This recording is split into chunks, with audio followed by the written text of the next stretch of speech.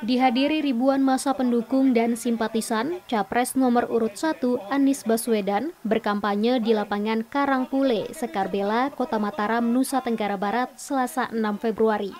Dalam kampanyenya kali ini, Anies berjanji untuk menjalankan pemerataan pembangunan di seluruh negeri, khususnya di NTB.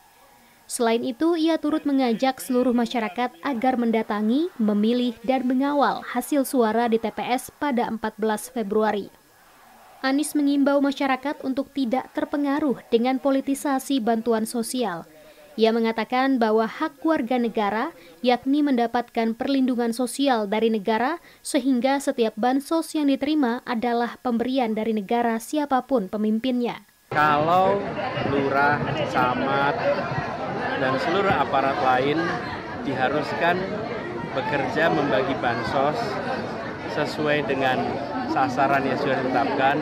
Ya seharusnya pejabat yang lebih tinggi memberikan contoh. Tapi prinsip kami adalah gini prinsip ke titik polo ke toro. Yang baik akan terlihat yang buruk akan terkuat. Ini tinggal 9 hari. 8 hari ke depan ini sebagai peringatan. Jangan ada yang melakukan pelanggaran etika supaya tidak mencederai pemilu besok. Usai berkampanye di Kota Mataram, NTB, Anies Baswedan langsung menuju agenda kampanye berikutnya yang berlangsung di Kota Parepare, Sulawesi Selatan.